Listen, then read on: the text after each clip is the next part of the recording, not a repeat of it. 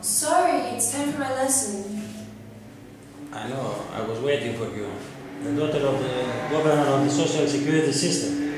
X, not anymore. He gave his resignation today this morning.